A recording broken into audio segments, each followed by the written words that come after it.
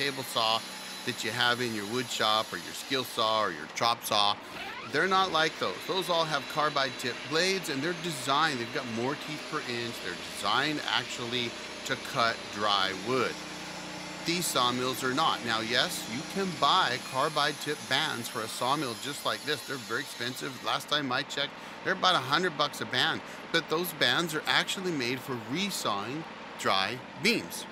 You don't want to run into dirt, rocks, you know, even the bark can be dirty enough to dull those really fast. Certainly don't want to run into nails with them. You'll destroy them and then you're done. Last I checked,